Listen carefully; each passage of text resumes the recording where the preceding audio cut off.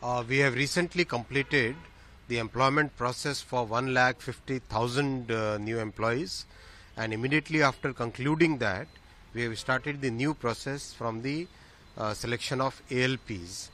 Uh, this is uh, this is the first step. There will be more more uh, employment opportunities in technical and non-technical popular categories and also in Group D.